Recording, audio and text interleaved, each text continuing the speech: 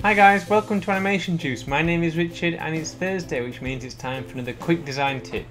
And in this week's quick tip I'm going to share with you how to add fake depth of field to your character designs just to boost some of the details and add a focal point to your designs. So let's jump in.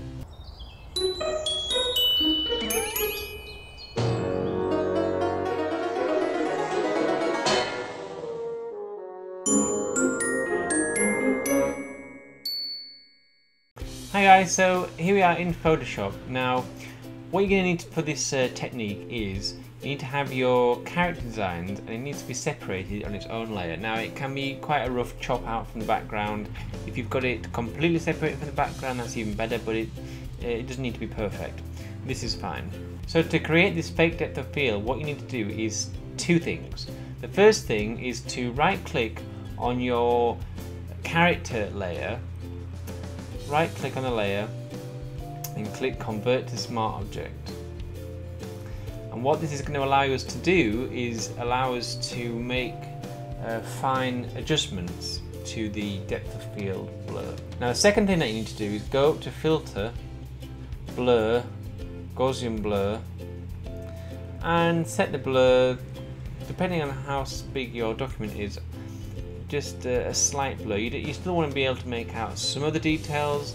It doesn't want to be crazy blurred like that where all of the details are completely um, gone. So knock it. So you, know you want to almost like you're squinting your eye at the piece. I'm going to set this at about three, roughly three pixels blur. Okay, and now what you'll see is we get this mask on our Gaussian blur. So we've got our smart filter, and because we set our character design layer as a smart object to start off with, when we applied the blur to that smart object, it gave us something called this smart filter.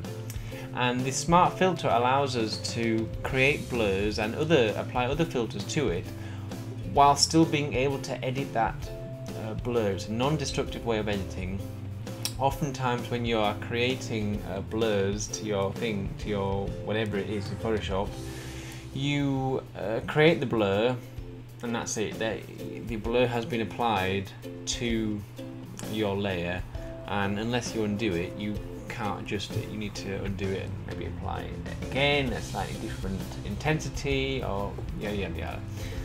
But having it as a smart object first al allows us to retain the uh, ability to switch it up. Let me explain.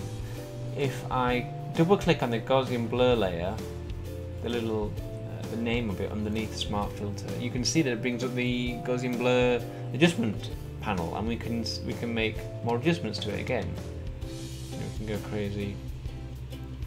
I'm going to knock it back to about well, I'm actually going to raise it to about 4 so that's that's more what I want for the purposes of this tutorial.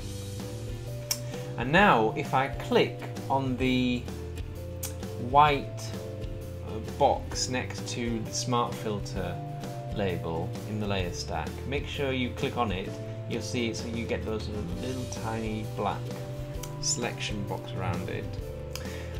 This is the smart filter mask and it works like any other mask and in that we can paint black or white or varying degrees of grey onto the mask and it's going to hide or reveal the object that it's masking. So if you hit B to get your brush tool up and just get a soft round brush, no, relatively large and make sure you've got black selected in your uh, as your colour, in your foreground colour now what we're going to do is get a very large brown brush and just paint out the details on the face. I want the details on the face to be apparent, but I want to create a nice depth of field on the rest of the character. You know, it's sort of when you're looking at an object, you really only see the, what you're looking at and everything in your peripheral vision is blurred out, it's out of focus. And we can use that technique to draw the user's eye into certain areas uh, that we want them to focus on and what you know part of the story or part of the expression in this case is the character's expression so I'm going to paint out the blur in and around the this cat's face to bring back the, uh, the, the in focus design, which is inside the smart object. And then, as you can see, everything else of the character is now blurred. It sort of gives this nice soft focus camera effect. You know, you see sometimes nice photographs where you're photographing flowers and all of the busy uh, scenery and, and, and, foliage is soft blur, but the inside of the petals and the stamen and all of that is in focus. And it creates a nice picture, it creates a focal point, it creates a story to your work. And so that's what we're doing here. It's a really quick way to add fake depth of field and all we did was create the character design, put it into a smart object and then apply a, a Gaussian blur to that smart object and then paint uh, the mask uh, in black to uh, hide and reveal some of the, uh, bring back some of the focus and leave everything else in, uh, in blur to create that fake depth of field.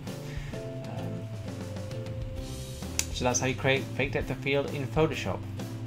So that's it for this quick tip guys, I hope you enjoyed it. If you did, let me know by leaving a like and a comment and subscribe to stay up to date with all the latest videos as they come out. That's it for this week guys, have a great week and I'll see you later.